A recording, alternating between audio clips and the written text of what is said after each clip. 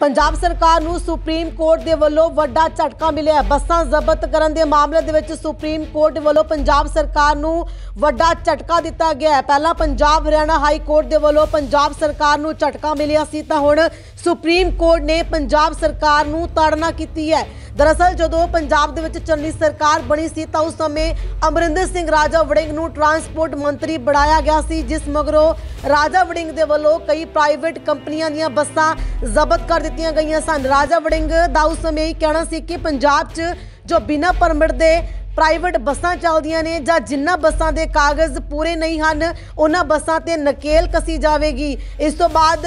ਰਾਜਾ ਵੜਿੰਗ ਦੇ ਵੱਲੋਂ ਚੈਕਿੰਗ ਵੀ ਕੀਤੀ ਜਾਂਦੀ ਹੈ ਬੱਸਾਂ ਦੇ ਵਿੱਚ ਜਾ ਕੇ ਅਤੇ ਬਹੁਤ ਸਾਰੀਆਂ ਪ੍ਰਾਈਵੇਟ ਬੱਸਾਂ ਨੂੰ ਜ਼ਬਤ ਕੀਤਾ ਜਾਂਦਾ ਤਾਂ ਉਸ ਸਮੇਂ ਬਹੁਤ ਸਾਰੀਆਂ ਪ੍ਰਾਈਵੇਟ ਬੱਸਾਂ ਜ਼ਬਤ ਕੀਤੀਆਂ ਗਈਆਂ ਸਨ, ਜਿਸ ਮਗਰੋਂ ਪ੍ਰਾਈਵੇਟ ਬੱਸਾਂ ਦੇ ਮਾਲਕ ਹਾਈ ਕੋਰਟ ਦਾ ਦਰਵਾਜ਼ਾ ਖੜਕਾਉਂਦੇ ਨੇ। ਪੰਜਾਬ ਹਰਿਆਣਾ ਹਾਈ ਕੋਰਟ ਦਾ ਦਰਵਾਜ਼ਾ ਉਹਨਾਂ ਦੇ ਵੱਲੋਂ ਖੜਕਾਇਆ ਜਾਂਦਾ ਹੈ, ਜਿਸ ਤੋਂ ਬਾਅਦ ਹਾਈ ਕੋਰਟ ਨੇ ਵੀ ਪ੍ਰਾਈਵੇਟ ਬੱਸਾਂ ਦੇ ਪਰਮਿਟ ਰੱਦ ਕਰਨ ਦੇ ਪੰਜਾਬ ਸਰਕਾਰ ਦੇ ਫੈਸਲੇ ਤੇ ਰੋਕ ਲਾ ਦਿੱਤੀ ਜਿਸ ਜਿਸ ਤੋਂ ਬਾਅਦ ਹਾਈ ਕੋਰਟ ਦੇ ਇਸ ਫੈਸਲੇ ਨੂੰ ਪੰਜਾਬ ਸਰਕਾਰ ਨੇ ਸੁਪਰੀਮ ਕੋਰਟ ਦੇ ਵਿੱਚ ਚੁਣੌਤੀ ਦਿੱਤੀ ਸੀ ਤੇ ਹੁਣ ਸੁਪਰੀਮ ਕੋਰਟ ਨੇ ਵੀ ਪੰਜਾਬ ਸਰਕਾਰ ਨੂੰ ਝਾੜ ਪਾ ਦਿੱਤੀ ਹੈ। ਪ੍ਰਾਈਵੇਟ ਲਿਮਟਿਡ ਦੇ ਬੱਸ ਪਰਮਿਟ ਰੱਦ ਕਰਨ ਤੇ ਰੋਕ ਲਗਾਉਣ ਵਾਲੇ ਪੰਜਾਬ ਅਤੇ ਹਰਿਆਣਾ ਹਾਈ ਕੋਰਟ ਦੇ ਹੁਕਮ 'ਚ ਦਖਲ ਦੇਣ ਤੋਂ ਸੁਪਰੀਮ ਕੋਰਟ ਨੇ ਇਨਕਾਰ ਕਰ ਦਿੱਤਾ। ਇਸ ਦੇ ਨਾਲ ਹੀ ਜਸਟਿਸ ਹੇਮੰਤ ਗੁਪਤਾ ਦੀ ਅਗਵਾਈ ਵਾਲੇ ਬੈਂਚ ਨੇ ਕਿਹਾ ਕਿ ਅਦਾਲਤਾਂ ਦੇ ਵਿੱਚ ਸਿਆਸੀ ਲੜਾਈਆਂ ਨਾ ਲੜੋ। ਇਹ ਗੱਲ ਆਖੀ ਜਸਟਿਸ ਹੇਮੰਤ ਗੁਪਤਾ ਦੀ ਅਗਵਾਈ ਵਾਲੇ ਬੈਂਚ ਨੇ ਕਿ ਅਦਾਲਤਾਂ ਦੇ ਵਿੱਚ ਸਿਆਸੀ ਲੜਾਈਆਂ ਨਾ ਲੜੋ। ਤਾਂ